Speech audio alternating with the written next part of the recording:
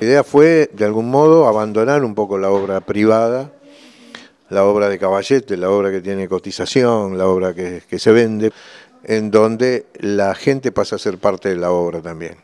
Por eso las dos veredas intervenidas, de modo que se transforma como un gran corredor de color.